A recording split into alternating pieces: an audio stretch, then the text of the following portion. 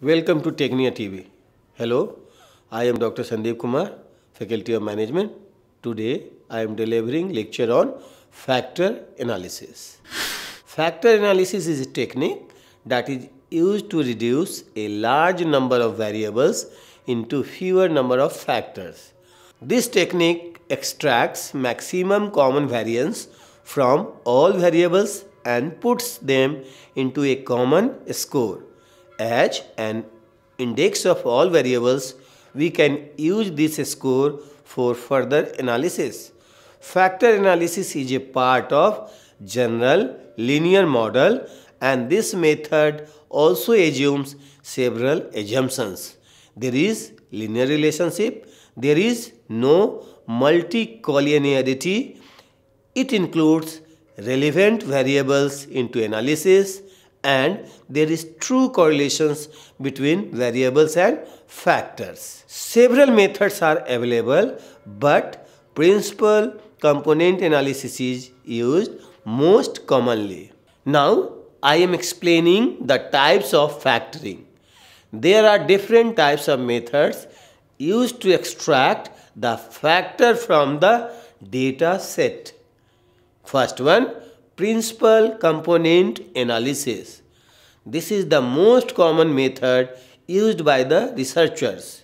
PCA starts extracting the maximum variance and puts them into the first factor. After that, it removes that variance explained by the first factors and then starts extracting maximum variance for the second factor. This process goes to the last factor. The second one is common factor analysis. The second most preferred method by the researcher, it extracts the common variance and puts them into factor. This method does not include the unique variance of all variables. This method is used in SEM. The third one is image factoring. This method is based on correlation matrix. OLS regression method is used to predict the factor in image factoring. Fourth one that is maximum likelihood method. This method also works on correlation metric but it uses maximum likelihood method to factor. Fifth one which is other methods of factor analysis. Alpha factoring outweighs least squares.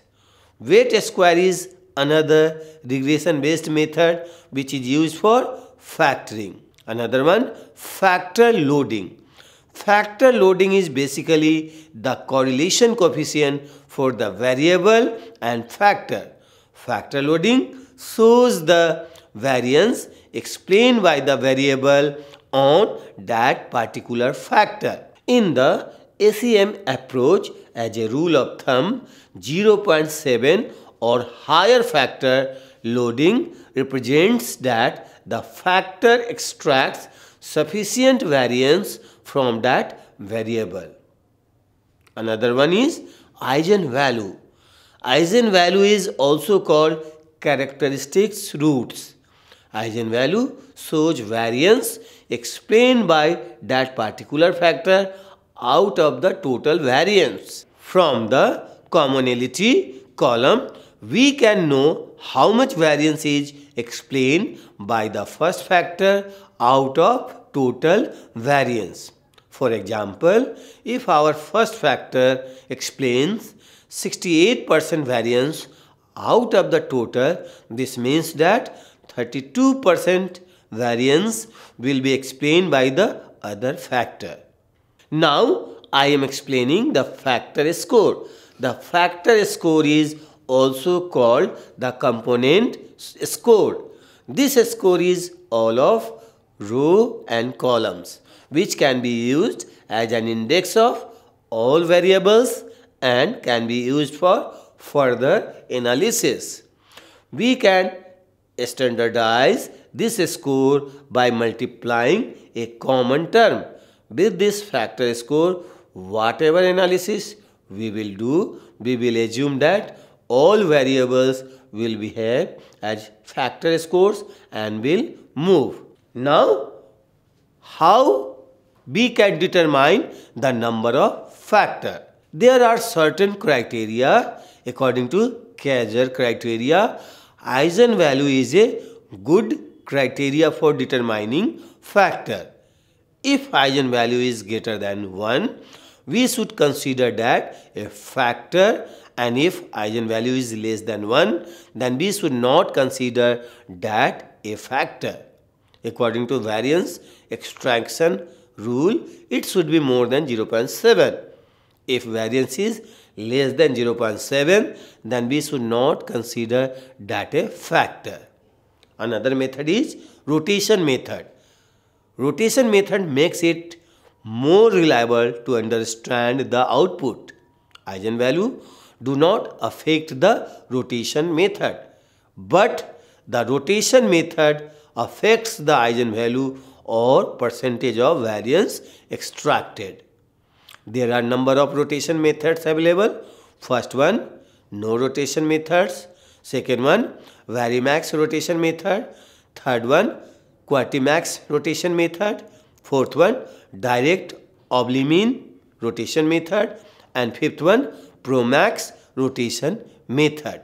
Each of these can be easily selected in SPSS and we can compare our variance explained by those particular methods. Now I am explaining the assumptions. First one, no outlier. Assume that there are no outliers in data. Second one, adequate sample size. The case must be greater than the factor. Third one, no perfect multicollinearity.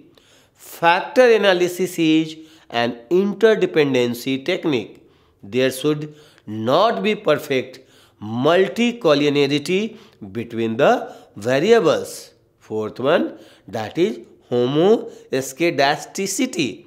Since factor analysis is a linear function of measured variables, it does not require homoscedasticity between the variable. Fifth one is the linearity. Factor analysis is also based on linearity assumption. Nonlinear variables can also be used after transfer, however, it changes into linear variable. Sixth one, which is interval data.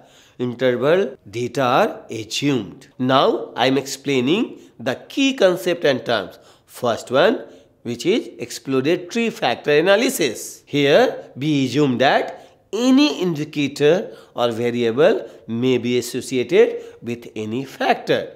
This is the most common factor analysis used by researcher and it is not based on any prior theory.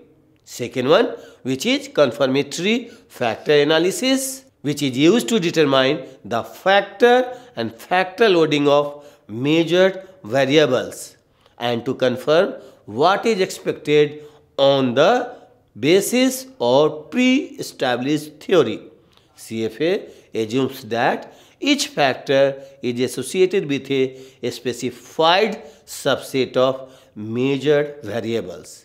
It commonly used two approaches. First one, which is the traditional method, which say the traditional factor method is based on principal factor analysis method rather than common factor analysis. It allows the researcher to know more about insight factor loading. Second one is the SEM approach. CFA is an alternative approach of factor analysis which can be done in SEM. In SEM, we will remove all straight arrows from the latent variable and add only that arrow which has to observe the variable representing the covariance between every pair of latents. We will also leave the straight arrow error free and disturbance terms to their respective variables. If standardized error term in SEM is less than the absolute value 2 then it is assumed good for that factor. And if it is more than 2 it means that there is still some unexplained variance which can be explained by the factor. Chi-square and a number of other goodness of fit indexes are used to test how well the model fits. This is the end of my lecture on the factor analysis. Hope you will find it beneficial. Watch and subscribe more lecture on Tecnia TV. Thanks a lot.